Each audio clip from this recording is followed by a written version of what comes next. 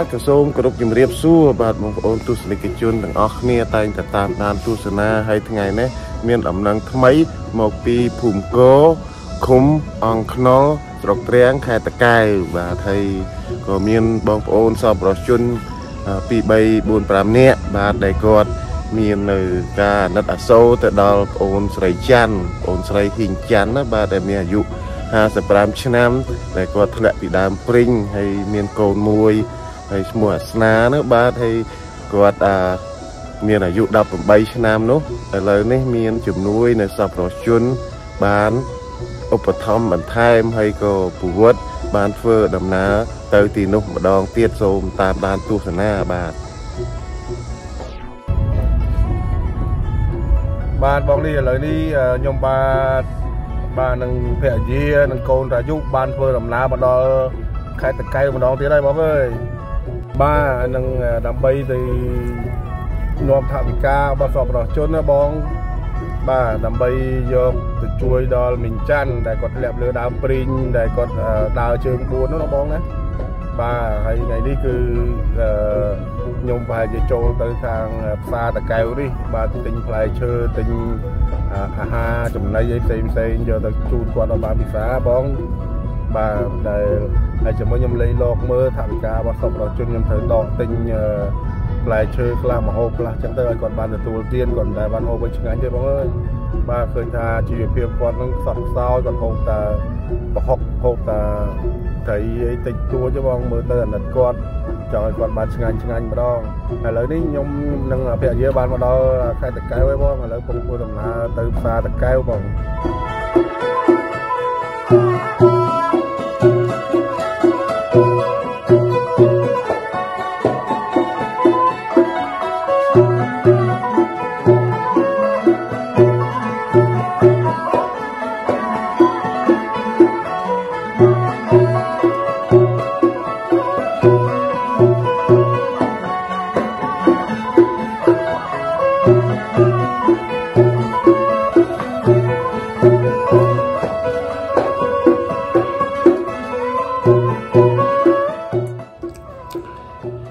ខ្ញុំបាទសូមថ្លែងអំណរគុណទៅដល់ចៅរំ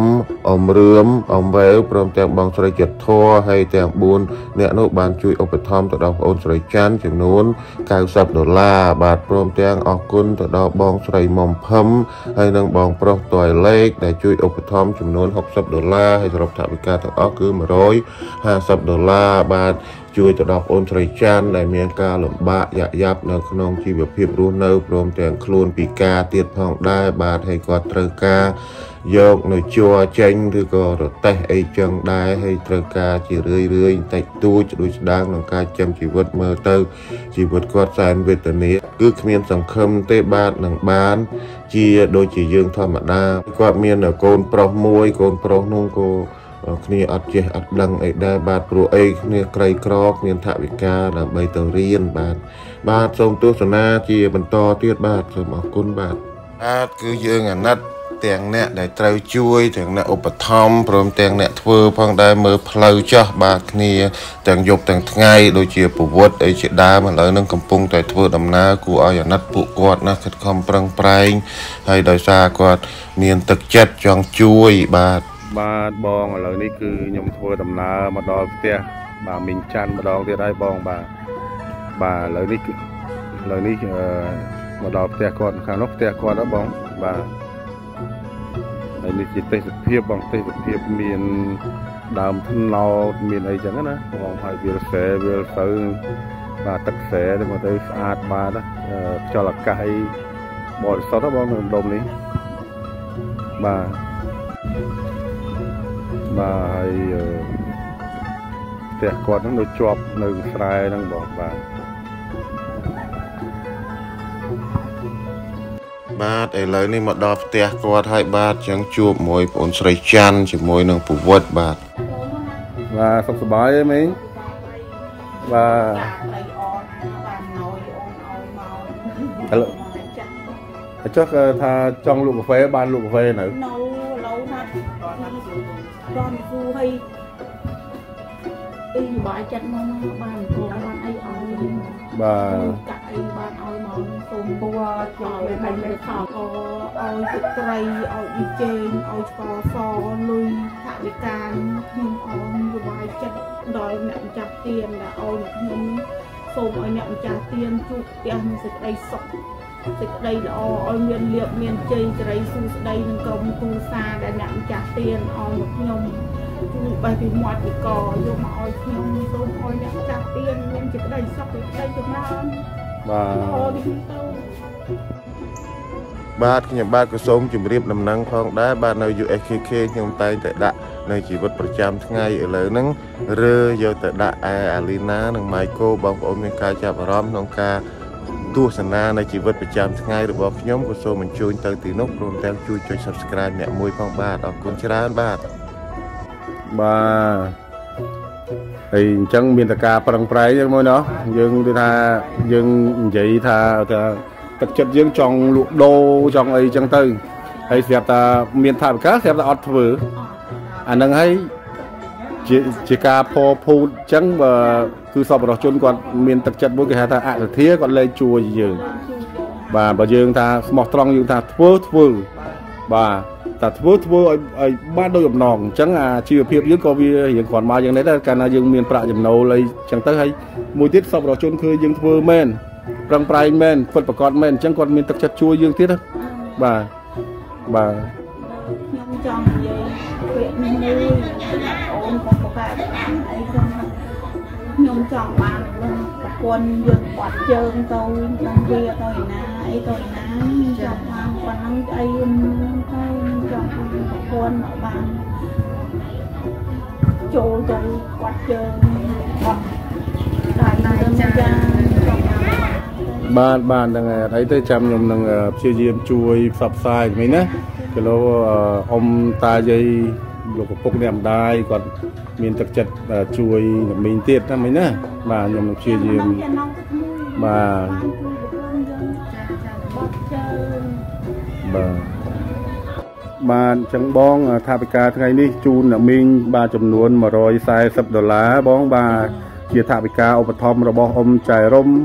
បាទអ៊ំរឿបអ៊ំវែវនិងបងស្រីចិត្តធរបាទ គាត់បានចូលរួមឧបត្ថម្ភចំនួន95ដុល្លារបងបាទហើយពួកគាត់ទាំងអស់គ្នាគឺជាសប្បុរសជន បាទដែលរស់នៅសហរដ្ឋអាមេរិកបាទចំណែកបងមុំភឹមបាទនិងបងតយលេខក៏គាត់បានឧបត្ថម្ភអ្នកមីងចំនួន60ដុល្លារផងដែរបាទហើយអញ្ចឹងស្ថាប័នការសរុបរួម គឺមានចំនួន155ដុល្លារបងហើយអឺនេះខ្ញុំបានចាត់ចែងទិញបាទជាទុរេន បាទនឹងមានគ្រួចអាំងបាទជូនទៅគាត់ពិសាដល់ឈ្ងុយឆ្ងាញ់បាទហើយបាទហើយអញ្ចឹងអ្នកមីងមានពាក្យពេញថ្លែងអំណរគុណទៅម្ចាស់ថាបិការថ្លែងអំណរគុណដល់អ្នកម្ចាស់ទៀន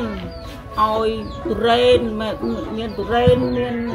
រួចឲ្យខ្ញុំហូបខ្ញុំហូបទៅឆ្ងាញ់អញ្ចឹងខ្ញុំសូមជូនពរ ជ័យដល់អ្នកម្ចាស់ទៀនឲ្យអ្នកម្ចាស់ទៀនមានសេចក្តីសុខសេចក្តីចម្រើនអ្នកម្ចាស់ទៀនមានជាតិនឹងមានប៉ុណ្ណឹងគឺជាតិមកទៅឲ្យមានលើសនឹងទៀតបាទហើយសាក៏ធុក្នុងជាតិនឹងឲ្យមានលើសនឹងទៀតបាទសាធុសាធុបាទចឹងខ្ញុំជំរាបលាមិញណាបាទបាទបាទអ្នកចាស់ទៀនបាទបាទអរគុណណាស់បងប្អូនទាំងអស់គ្នាបាទលោកពុកអ្នកម្ដាយអ៊ំពូមីងលោកយាយលោកតាទាំងអស់តែងតែជួយគ្រប់គ្រង ជារៀងរហូតមក បាទខ្ញុំបាទអរគុណណាស់ក្នុងសកម្មភាពផ្សេងផ្សេងមើលទៅពួកគាត់ថាកំសត់មានសេចក្តីទុកច្រើនឬបំរាស់មិនងាយរួចទេបាទយើងគ្រាន់តែអឺជូនគាត់ឧបត្ថម្ភដល់គាត់ជួយសម្រួលជួយរំលែកនៅជាអន្លើអន្លើនៃសេចក្តីទុករបស់គាត់បាទមើលទៅគឺថាទុកធ្ងន់មហាសែនធ្ងន់បាទហើយបងប្អូនទាំងអស់គ្នាបើបានទស្សនាខ្សែវីដេអូនេះហើយបាទមានទឹកចិត្ត ចង់ជួយគាត់ក៏សូមជួយចែករំលែកបន្តបន្តគ្នាផងបាទហើយមួយទៀតបងប្អូនចង់តំណាក់តំណងក៏អាចតំណាក់តំណង Facebook របស់ខ្ញុំបាទនិងលេខទូរស័ព្ទដើម្បីបានពិភាក្សាពិគ្រោះអំពីពុទ្ធតសម្បត្តិជនព្រមទាំងជាងហុកដែលមិនដែលបានជួបគាត់ឬក៏ចង់សាកសួរដំណឹងផ្សេងផ្សេងៗខ្ញុំនៅទីនេះស្រាប់បាទនឹងបានសួរហើយនឹងទូរស័ព្ទនៅក្នុងសហរដ្ឋអាមេរិកគឺងាយស្រួលជាងស្រុកខ្មែរបាទហើយក៏បងប្អូនអាច ទំនាក់ទំនង direct ទៅគាត់ក៏បានដែរបាទបាទសូមបញ្ចប់ដោយសង្ខេបបែបខ្លីមានប្រមាណប៉ុណ្ណេះចុះបាទរងចាំទស្សនានៅខ្សែវីដេអូថ្មីថ្មីសកម្មភាពថ្មីថ្មីមកពីប្រទេសកម្ពុជាយើង បាទមកពីប្រទេសខ្មែរបាទមាតុភូមិរបស់យើង បាទរកកំហុសឆ្គងក៏សូមអធិស្ឋានបាទខ្ញុំបាទសំអល់រស់នៅក្នុងសហរដ្ឋអាមេរិក ទីក្រុង Charlotte រដ្ឋ North Carolina ក៏សូមគោរពលាមានប្រមាណប៉ុណ្ណេះបាទ